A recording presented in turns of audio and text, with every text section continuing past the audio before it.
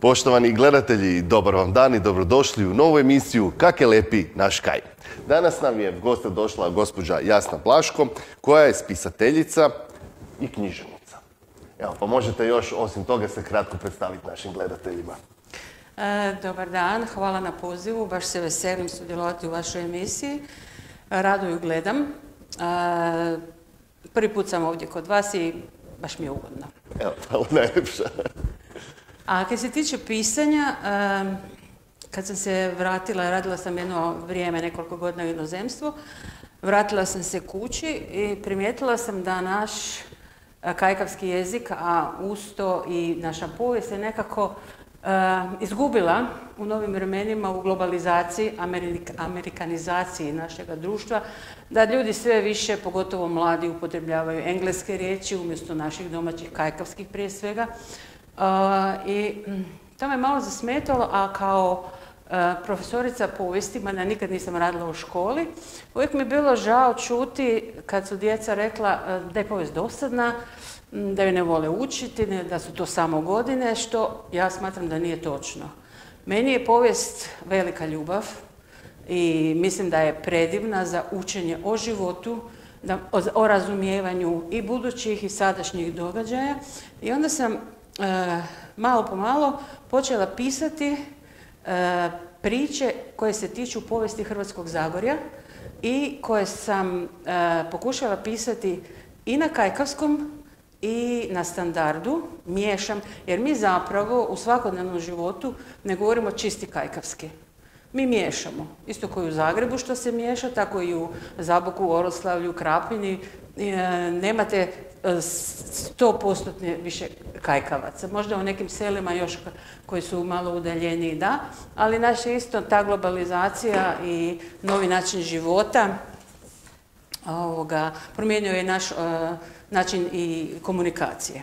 Eto, plava jabuka je zato nastala iz tog poriva i bila jako dobro, jako sam zadovoljna, sam bila jako dobro prihvaćena. Evo, možete nam onda za početak ispričati malo i Plava jabuci, pošto je prva koja s kojom ste krenuli. E, Plava jabuka je zbirka kratkih priča koje sam ja uglavnom slušala i od svojih susjeda i od svoje obitelji, najviše obitelji.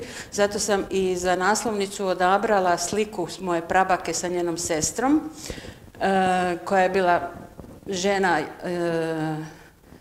koja je držala obitelj na okupu, rekla bih, i u najvećoj neimaštini i u zadovoljstvu. svi su je voljeli, svi su je poštovali, a moj pradjet, njen suprug, je uvijek bio pun raznih priča iz dogodošćina, prošao je Galiciju, prošao je dobra vremena iz obiteljske zadruge koje je moja obitelj imala i teška vremena nakon e, osiromašenja.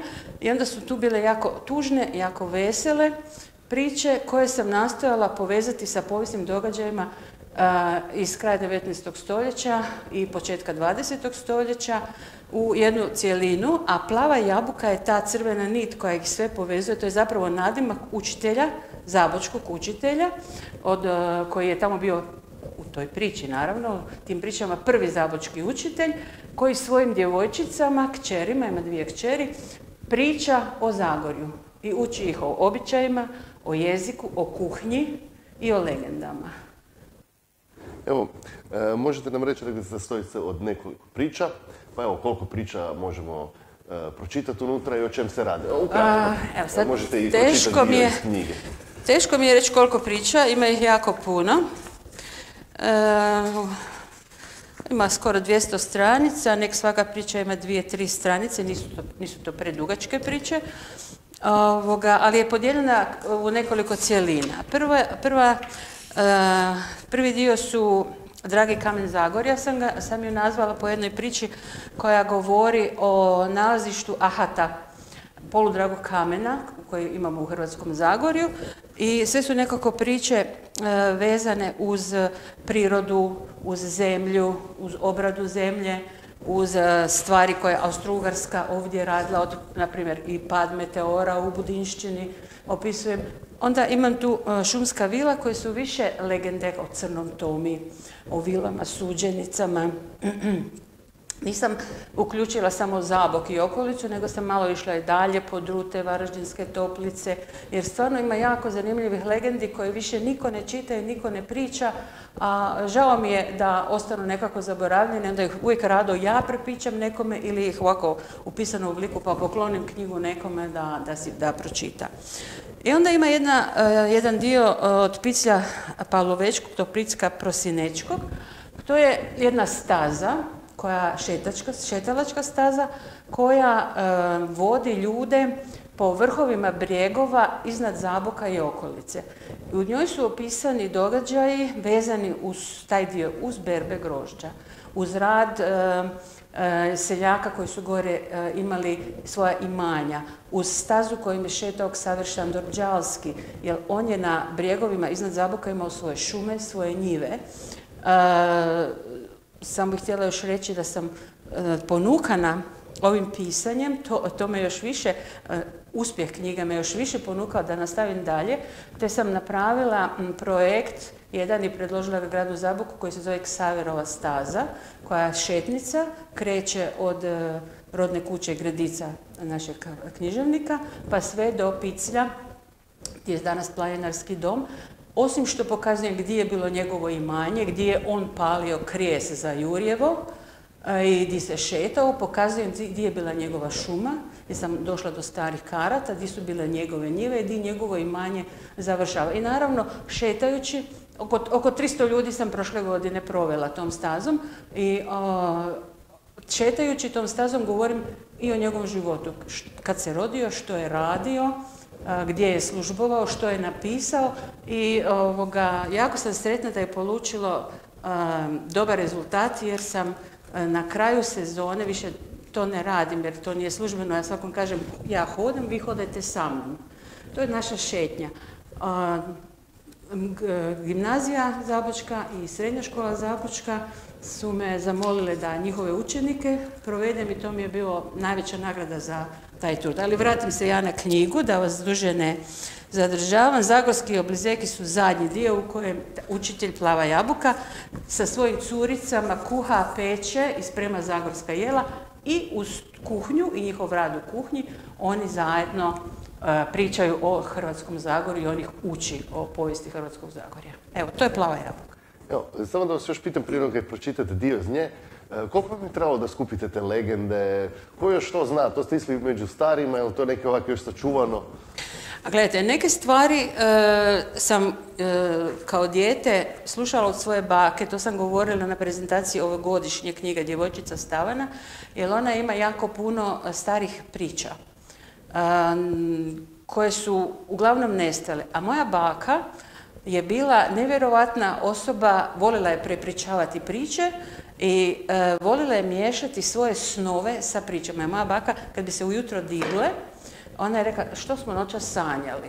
I njena priča je trajala dok smo doručko, dok smo spremali doručak, dok smo doručkovali, dok smo išli u dućan, spričala je svoj san. U tu, taj njen san je bio upleteno događaje koji su se događali na Medvednici, koji su se događali na Ivančici, tu su bila i Zmija Kačec, tako da sam puno priča u ovim svim mojim knjigama zapravo prizvala iz sjećanja iz svoje, svojeg djetinstva koje je meni baka pričala.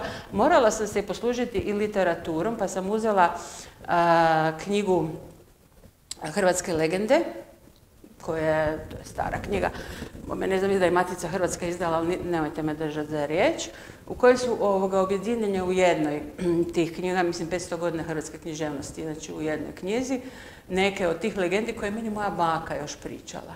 Eto, zahvaljujući njoj zapravo, mislim da sam taj talent za pričanje naslijedila od nje. A koliko mi je trebalo da napišem, pa čujte, jabuka je napisana Teško mi je reći koliko, ali kad sam se ozbiljno uhvatila, onda sam ju u godinu dana završila. Konjicu Vilenjaka isto u godinu dana sam završila. Ovu sam završila malo kasnije, jer smo malo teže skupljali sredstva za njeno tiskanje. E, u kulturi, pogotovo u izdavaštvu, je dosta teška situacija i nema baš ni donatora, nema ni sredstava da vam neko pokloni niti od privatnih osoba, tako da je čekala dugo na izdanje, na tri, tri godine čak, ja mislim da je čekala, ali hvala Bogu ove godine smo ju uspjeli izdati. To je najvažnije. To je najvažnije, da. Evo, morate e, našim gledateljima predstaviti Djelić um, Evo ovako. Ovo je uh, pripovjetka jako kratka, zove se uh, Obleka za svetke. A opisuje susret trgovca Vida Tuđa iz Donje Voće, koji je poznati Šnajder i kojem uh, učitelj Plava Jabuka odlazi naručiti za svoje djevojčice haljine, narodnu nošnju, a onda ga Vida jel, nagovara da i njemu nešto sašije. Veli on, vida kaže, si, si, si kak najsilana zemeju, bu dobre, mu dobre cenu dal, nagovara ome tuđa. Znam ti ja tu dobru cenu, ali se nisam bunil. I onak sam naumil curama darovati lanenu obleku. Sad mi je prilika zapisati neke i o zagorskoj nošnji. Veli vida, su e, jabuke. Ali bez krljaka i črnih kožnatih škornji ne mreš se ni zamisliti. Gledajte, učitelj jabuka. Bu mi njima kaputa zašil, sam si farbu zberite. Em oni znaju da je farba kaputa ili surke, svakega kmeta pripasa na farbi groba gospona temu kmet pripada. V lepoglavi su surke bele, v trakošćanu sive, a v stubici pak smeđe. Gospodin Vida, ali nema više kmetova. Zaboravili se da ih je Jelačić oslobodio još 1848. Znam jabuka, znam. Dobro oni pripovedalju, ali selak je selak. Pak i den denes iste boje kaputa još z onoga doba nosi. To je onak prokletev čoveku, će ti nešći slobodu i daje, si ju ne vušćiš zeti. Kad se na boljše ne moreš privaditi, navek nošiš žmehke na pleći, da te na gorše doba spominja. Ak na gorše pozabiš, se lahko i sam pokvariš. Eto, tak su oni malo, evo, dogovarajući odjeću, razgovarali i o povijesti. Na taj način unosim dijelić povijesti ovdje o surkama, jel, na narodno noši muškara sa tim kaputima koje su stvarno bile u bojama grbova koji su prevladavali na vlasnicima vlastilinstva, odnosno grofovima, vlasnicima kmetova u, jel, u ono doba prije ukinuća kmestva. Ne znam da li želite da vam pročitam još možda nešto. Možeš dijelić. Evo, ovo je iz Tubičkog kraja. E, priča se zove zašto ljudi nisu voljeli Tahija. Jer o Tahiju e, i Mati Gupcu su razne legende. Da spava na medvedici, da nije umro, da su mu glavu, da je izgubio život zapravo kod Golubovca, da nikad nije odveden u Zagreb. Dakle, a, priča govori kako stubičanci doživljavaju e, Tahija, koji je pokopan inače u Donju Stubičkoj crkvi. I veli, jel, e, Đuro Žagar, lik iz ove priče, veli, bilje protestant, Kluteru se zapisal, ali zdaj v katoličke cerkvi spiji najga vrag zeme. Uvijek je komentirao trgovac Đuro Žagar iz Gornje Stubice. Nisu se selaki sam tak pobunili. Bilo je to u velkše politike. Su se gospoda med sobu posvadila. Oni teri nijesu šteli poreza Rimu plaćati, su k luteranima prešli. Takav je i tahi bil. Caru se to ni dopalo. Pokren se gospon na gospona huškal, oni bliže dvoru, uz Rim i cara su stali. Proterali luterane, tak se se započele. Eme, pratiš kaj ti pripovijedam. Provjerio Đuro moju pažnju. A selak, hm, njega je lahke bile na bunu napuntati. I onak živi kak živina, v blatu i bedi, njemu ni do Rima, ni do Lutera, ma do ničeg mu ni. Male mu fali da se pravice iskati na kani, da se vužga i ponori. A me pratiš. Tak je i stubici bile. A je gubec donje ili gornje stubice, to ti je tak male važne. Evo, to je jedna od, takvih priča. Evo, možemo ići dalje.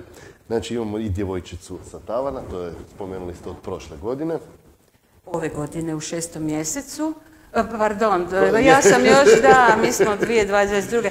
21. u šestom mjesecu je bila promocija djevojčice Stavana. E, knjiga je dobila e, naziv prema prvoj pripovjetki.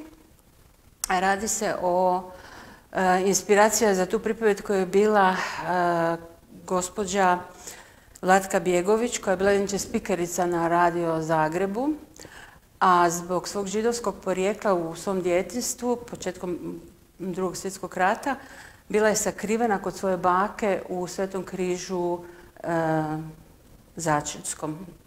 I zato je djevojčica Stavana. Inače, u jednom članku, mislim da je to bilo u Hrvatskom Zagorju ili je ovoga Dunja Horvatin, pokojna kolegica, napisala članak i intervju sa gospođom Vlatkom o tim događajima iz njenog djetinjstva i to me ponukalo da i ja napišem ovoga, priču o njoj. Nažalost, gospođa nije mogla doći zbog visokih godina na tu promociju, ali mi smo joj knjigu dostavili i to mi je bila velika želja da se ta knjiga objavi, pogotovo ta priča o njoj. Uglavnom, u toj knjizi su događaji koji su počinju u drugom svjetskom ratu, ali ona je podijeljena, sva, kao svaka moja knjiga, u nekoliko cjelina. Ova djevojčica Stavana e, je interesantna po tome E, mnogima, što iza svakog, svake priče slijedi legenda. Odnosno, to je ono o čemu sam govorila na početku, kao da meni moja baka prije spavanja priča priču, odnosno nakon buđenja. Tako i toj djevojčici Stavana, njena baka, svaku večer ispriča jednu priču prije spavanja, to su sve stare e, kajkavske zagorske legende i priče, e, uči o zemljopisu, uči o dvorcima, i sa njom se na tavanu ponekad sakriva jedan njen rođak koji joj iz nekih svojih knjiga pokazuje kakav je život bio i koje sve živi u Hrvatskom Zagorju. E, drugi dio se odnosi na travaricu, Maru, koja je e, kroz svoj rad, skupljanje trava i liječenje ljudi, na svoj način e, učiteljica života u Hrvatskom Zagorju. A e, Snažne žene, koji je treći dio ove knjige, je zapravo uvod u knjigu koju pišem sada, tražim izdavača. E, knjiga govori o poznatim i o nepoznatim ženama i njihovim sudbinama. Između ostalog od poznatih žena, ali možda neopravdano zaboravljam, je operna pjevačica Anka Horvat. Ja sam dobila dopuštenje od autorice knjige o Anki Horvat, da upotrijebim njezina istraživanja za svoju priču i gospođa e, Potočki je bila vrlo zadovoljna e, sa načinom na koji sam ja obradila život Anke Horvat, koja je inače porijeklom iz Zlatara. Bila je poznatija za prvog svjetskog rata i prije toga više je bila poznatija u inozemstvu i pjevala je najviše u Njemačkoj nego što je bila poznata u Hrvatskoj. Nastupala je ona i kod nas, ali nikad nije bila član, recimo, opere u Zagrebu ili nekog ansambla u, Hrvatskoj. Tu, je, tu, je, tu su priče iz mog iskustva dok sam radila vani u Africi, jer sam e, šest godina radila na pitanju izbjeglica i djece koji su ostali bez roditelja, sjećanje na jednu epizodu koja je pisana u formi e, pisama i e, priče o ženama koje sam poznavala i koji su mi dali, koji su mi dali dopuštenje da ispričam njihovu životnu priču iz Jakuševca, Pavlovca, Gornje Stubice i Donje Stubice. I na tu sam knjigu završila, e, što se mnogi čude, pričom Izlet.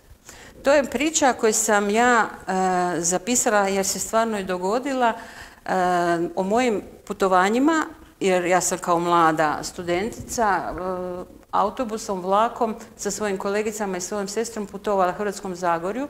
Moja jedna kolegica studirala je povijest umjetnosti, ona je veliki poznavatelj i arhitekture i slikarstva, opće povijesti umjetnosti Hrvatskog Zagorja.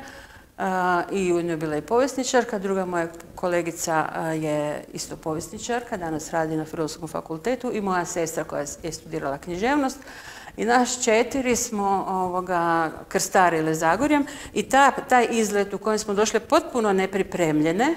Išle smo od Pješice, od Desinića, na Veliki tabor, na Miljanu, na um, Olimje, početrtek i onda smo mrtve umorne, umorne padajući s nogom imali, zahvaljujući jednom ljubeznom rođaku, moje prijateljice, prijevoz natrag u, u odredište s kog smo krenule i to je bio nezaboran izlet jer smo ovoga, ali na taj način smo mi otkrivale i Zagorje i život uz granicu sa Slovenijom. Eto, to je moja, moja djevojčica Stavana.